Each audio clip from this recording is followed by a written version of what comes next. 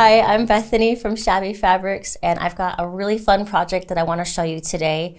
We're going to be making the Sweet Treats bag. You can see that here. It's a little pouch that is quilted and bound inside and out, and this is made with honey buns. Now, if you're familiar with pre-cuts, we've got layer cakes, which are 10-inch squares, charm packs for, that are 5-inch squares. Um, a, a honey bun is going to be a like a jelly roll, which is two and a half uh, inch strips, but this one is made with one and a half inch strips, okay? And each roll has 40 strips.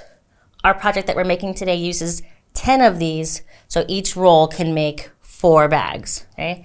It is sometimes a bit hard to find those. They're, they're not um, something that's made as widely available as like layer cakes or jelly rolls are. So um, I know if you're anything like me, when you shop for your fabric for a quilt, I always pick up a couple extra inches more than the pattern calls for just, just for mistakes and I end up with maybe a couple extra inches at the end of the project. I can't bring myself to throw it away, so I save it. Um, this is a great project to use up those scraps. If you have long strips left over, we can uh, grab a ruler and just cut our own. Our entire sweet treat bag will just take 10 one and a half inch strips. Okay? Uh, it's a great scrap buster, or if you want to go pick up maybe uh, some yardage or you have something at home, that's awesome as well. I today will be using the fabric uh, Hometown by Tilda. This is a beautiful collection with so many different colors and prints in it. Um, we have some beautiful fat quarter bundles. We have yardage available. You're not going to want to miss out on this one. It's a really special collection. So let me show you what I've done with that here. Like I said, we've got 10 strips and I didn't want to bore you guys with me sewing 10 strips at the machine. So I've got that already sewn together here and you can see my seams are pressed open. if I take it to the end, you can see I'm just working with the entire width of fabric. And once I get all 10 strips sewn together, then I'm gonna trim off my edges and we're gonna do a little math to see how long our piece is. Because sometimes your, your width of fabric from one fabric line might be exactly 42, um, you might have a little bit more, a little bit less, uh, 42 inches there. So let's see what we've got here. So the pattern tells us to take one in and we're gonna square that up. And the way I like to do that is lay it flat. I'll take my ruler to the one end and I like to line my ruler up on a seam. That lets me know I'm kind of getting the square with the rest of the project. And then I want to come in about an inch from the very edge of that selvage. Okay. I would do the exact same thing on the other side and then measure my entire piece. Um, and then we're going to cut a piece of fusible fleece one inch smaller than that, but the exact same width. With This should be 10 and a half inches. Okay. Um, we'll have that fused down and then we'll quilt the whole thing. Uh, I have already done that to kind of save some space here and I want to show you what that'll look like. Okay. So let's pull this here. You see one end, it's all clean. My fusible fleece comes uh, about a half inch, to, uh, stops a half inch before the edge. It goes all the way across and looks the same on the other side. And then you can quilt this any way you want. This might be a good time to bust out some decorative stitches on your machine and do those down. Um, and I do want to point out that the um, like outside of your bag is going to be one side and the inside will be another one. So we'll do our, our quilting accordingly on that. We are going to refer to the pattern and we're going to make some measurements on this. Okay. The first thing it says to do is find the middle and mark that. And I found the easiest way for me is to just fold that in half. And I can crease that with my fingers or put a pin there. I think I'll put a pin and then we will mark that. And then we're gonna mark on either side of the line that we draw inside on the fusible side, we will uh, draw, I think, four and a half inches to either side of that. That's gonna be some reference points for us. Okay.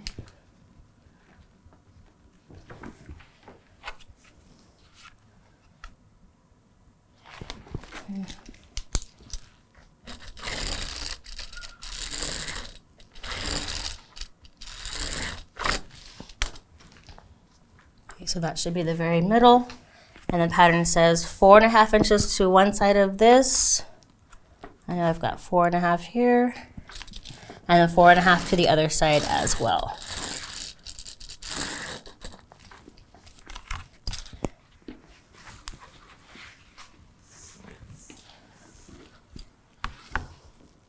four and a half.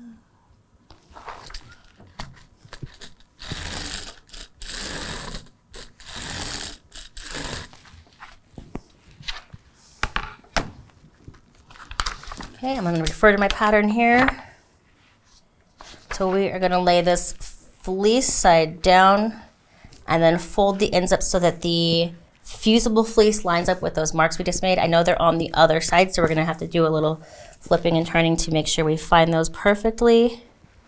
But I can see that here and line that up. And this is where, because I've got a little bit of thickness with the, um, the fusible foam here, I like to use the Wonder Clips to keep this in place.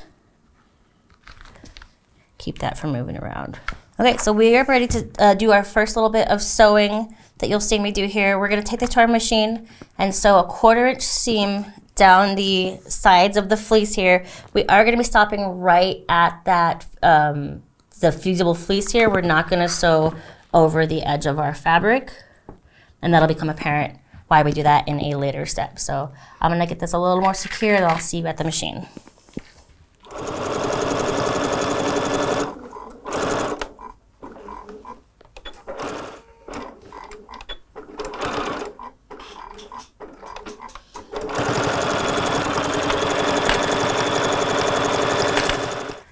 Right, we're back from our machine. That is sewn down there. Our next little bit will be to box the corners, and that is going to be all four of our folded edges. And this is really easy. We're going to take this straight edge here. We're going to open this up and make sure it meets this straight edge here inside. So basically we're turning this from a two-dimensional to a three-dimensional object here. And then the pattern says, I have to remember, we are going to go an inch and a quarter from the tip here and we'll draw a line straight across. So the way I do that is I take my ruler, I'm looking at my inch and a quarter line, trying to get that as straight as possible and I'll draw a line straight across and then I'll go ahead and secure this with some Wonder Clips as well before I get it to my machine. I'm going to box all four corners before I go and sew this.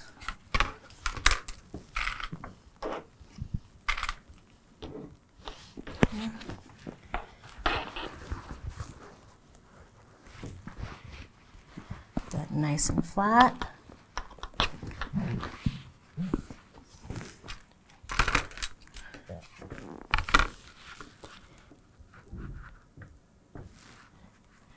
And get that straight, perfect.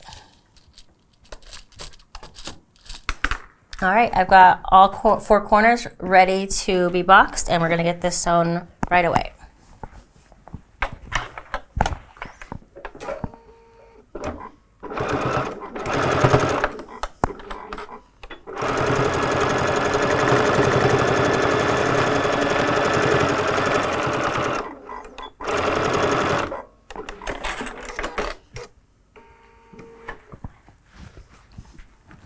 With all four of these corners boxed, the next step, super simple, and to me, one of my favorites because it just is fun for me. So we're gonna cut this seam down to a quarter inch. You can do this with scissors, you can go grab your rotary cutter and a mat and do this. But I like that little clip there, I think it's funner with scissors.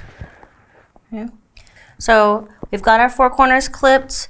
We're gonna use this line here that we've drawn in the middle and fold the bag while it's wrong side out right along that line. And I'm gonna do a little bit of clipping again to kind of stabilize this. Just a little bit. Okay, and what we wanna do to get this beautiful little curve on the pouch, um, the pattern says to go grab something round, grab a CD. Um, I've got this great ruler here called the um, curved corner cutter by Creative Grids, and it gives us three different like degrees of circle or quarter circles here to do. And I really like, I think I like the big one here, the three inch radius corner. Um, and we just line that up with the edge and the top edge of our fabric and we can draw that curve in and I think it's the perfect size for this, okay?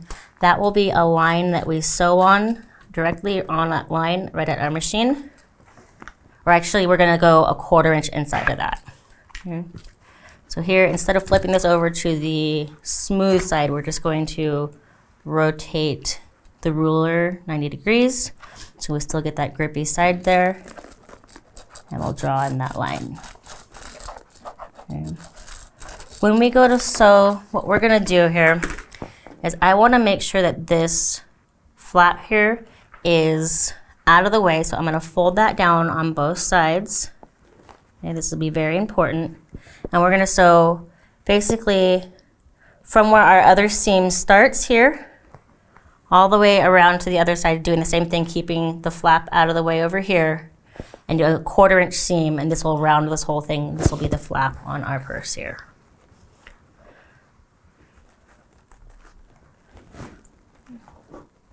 So I'll clip that out of the way. On this side as well. Get that fabric out of the way.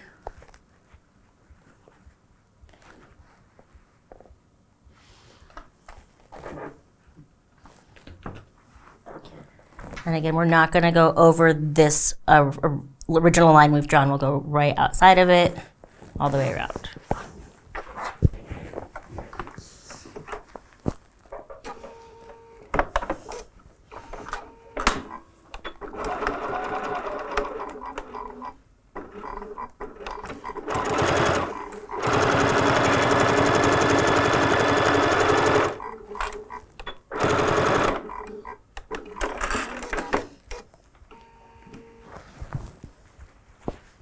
Okay, we're going to trim off the excess fabric here.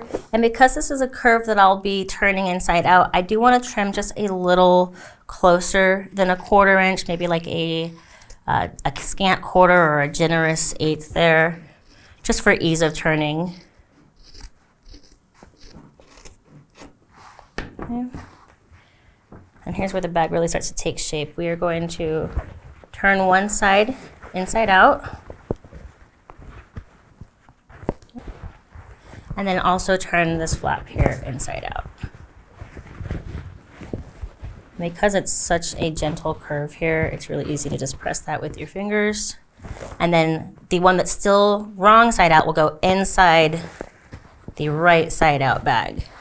And what this leaves us with is a bag it's basically completely bound or completely bound and lined on the inside with that beautiful quilted fabric. Okay, so you're gonna want to take this to your iron and kind of press it out a bit. And we also want to take this folded top edge and press that down under as well. If we need to secure that with some clips, we can do that, but we'll do that at the iron. And hopefully we didn't catch that when we sewed our other seam here. Okay. All right, so now that this is all pinned and clipped together, this uh, seam here where we basically turn the bag inside out through, that is now gonna be both ends turned under and then we will be doing a top stitch across this whole bit here and then around the top as well. And I wanna show you, it, it can be a little tricky, but it is very doable um, to do this at your machine. If you can see here, this, this seam will go all the way around here when we get here, I just pivot and keep going straight across. So this is gonna be one continuous seam here, and then we'll continue around, okay? So I actually like to start on the straight portion here. It's a little tricky to get that under your machine, but it's very doable. Uh, and I'll, I'll show you that uh, here when I do that right now.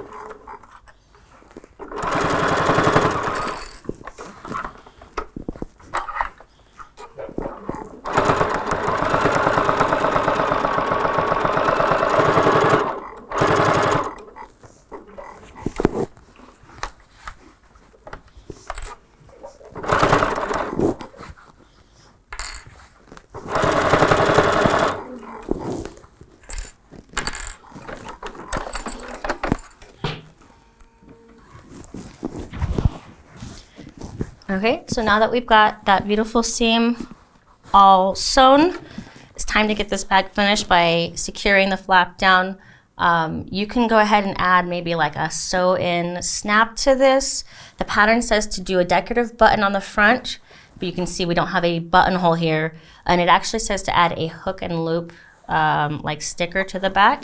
So I'm gonna get the button sewn on real quick and then show you what that hook and loop will look like and kind of a trick I found of putting that on. So this, I know this seam should be right in the middle. I'm just gonna pick a spot and sew that in real quick. Okay, so I've attached my button here. I'm going to have tied off my thread and I'm just going to kind of bury that inside and clip that thread. Okay.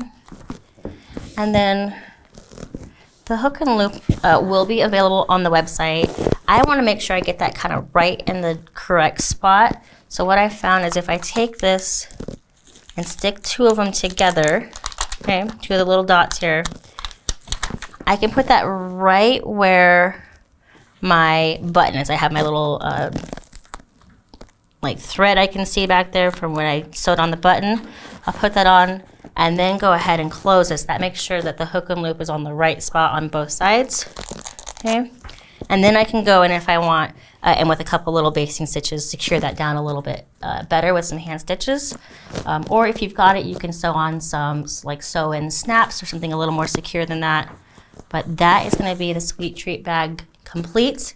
Thank you so much for joining me today on this really fun, uh, simple little project here, and I will see you on the next Shabby tutorial.